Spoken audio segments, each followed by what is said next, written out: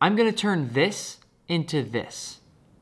Normally, when you peel an orange, it looks like this. I call this a naked orange. It's just a bigger version of these. We'll start with a whole orange, and once it's peeled, into a bowl and cover with water. We'll add a few drops of this special solution, which should eat away all that white pith. And a few hours later, we're left with this.